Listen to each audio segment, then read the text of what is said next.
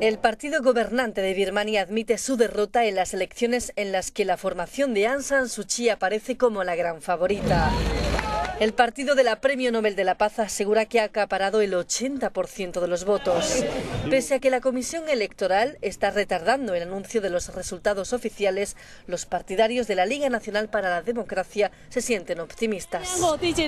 Estoy deseando que anuncien los resultados. No he podido dormir esta noche, al igual que mis amigos. No cesamos de mirar Facebook a la espera de que actualicen los resultados, comenta esta residente de Rangún.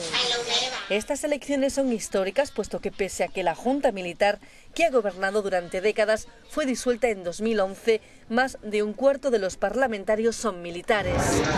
Los exgenerales han prometido respetar el resultado de las urnas, aunque los signos de crispación son múltiples, como el hecho de haberse anulado el voto en las regiones donde existen conflictos armados.